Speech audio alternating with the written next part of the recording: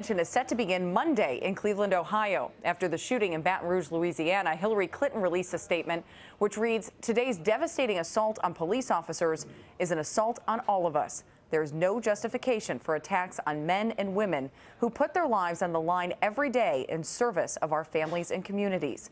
We must not turn our backs on each other. We must not be indifferent to each other. We must all stand together to reject violence and strengthen our communities.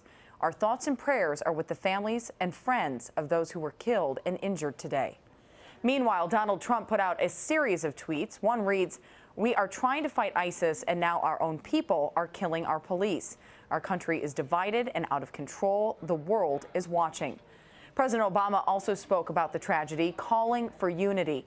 Elaine Quijano has more from Cleveland. President Obama, in his comments, actually noted